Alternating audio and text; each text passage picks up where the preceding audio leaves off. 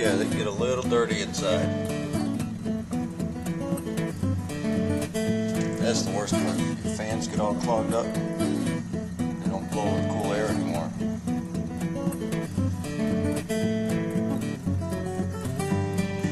When you're blowing it off, you want to kind of stick your finger in there or whatever to hold that fan so it doesn't spin. Because if it spins too fast, it'll burn the bearing out in it. Another one. Got vents in the top, they get all plugged up.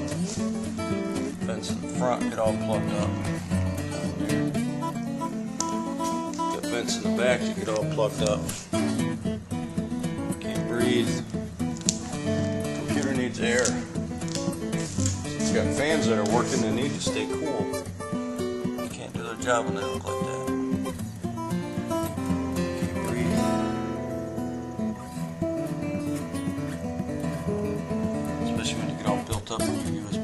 Cause a short. Oh yeah, inside. Hmm. This is normal. Well, it looks nasty. It's normal.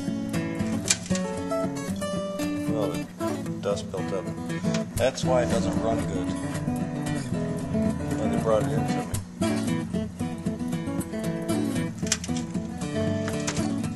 Purdy.